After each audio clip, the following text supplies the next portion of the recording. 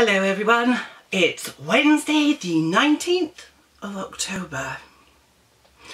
Day three of Spookathon and I thought I'd give you a little update as to how I'm doing with all the creepy spooky thrillery novels and how my TBR has actually changed slightly. It's the same TBR but the challenges have changed depending on the actual book. So let's get into the book. So I have already finished The Woman in Cabin 10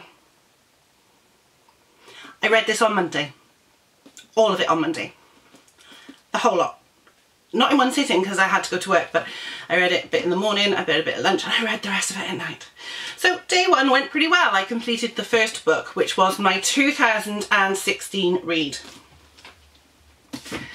I have then started two other books, which is this one, The Salem, Salem Witch Society by K.N. Shields. Originally this was going to be my one with a paranormal character, but I don't think there's any paranormal characters in it.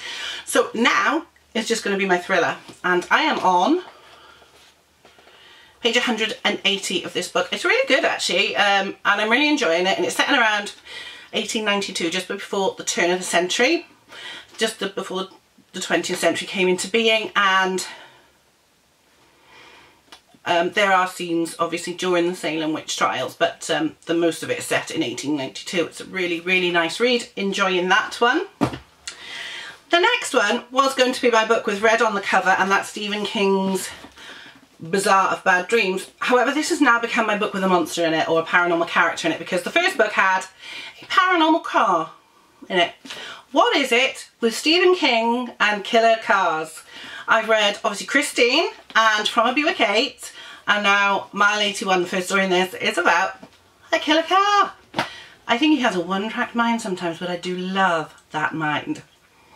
So, that has now become my book with a paranormal character in it, because I'm pretty sure there's going to be more than just a killer car, which is a monster, right?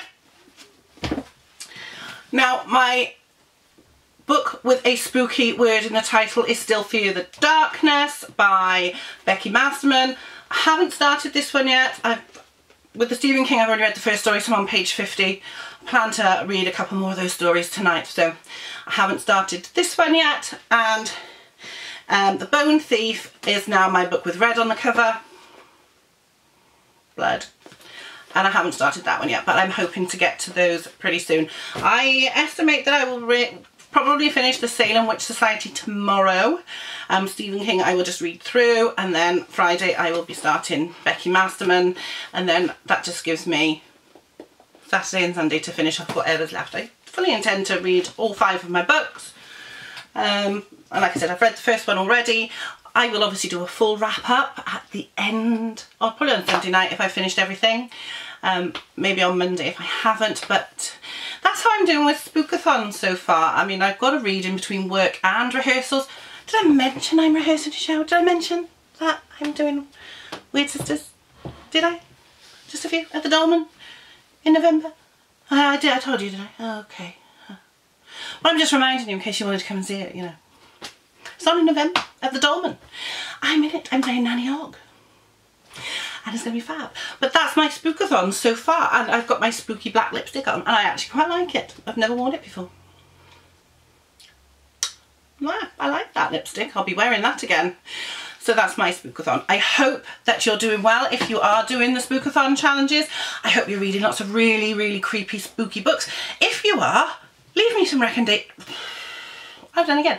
Leave me some recommendations down in the notes below because you know, comment. I want more scary books. I love scary books. I love ghost stories, I love horror stories, I love thrillers, I love chillers. I'm not particularly interested in gore. I don't mind vampires. I don't want vampire stories that are full of sex. I just, I want horror, plain and simple. So I want thrillers that scare you. I want real, really scary horror novels. So, you know what I like? Stephen King, Hex, I like Dean Koontz, what's the other one? Clive Barker, all those sorts of people. Give me some recommendations of what I should read down below and I will probably at some point pick them up. So I hope you've liked it. If you've liked this video, obviously give me a comment, like, share and of course subscribe if you're not already subscribed because I really do appreciate all the subscribers.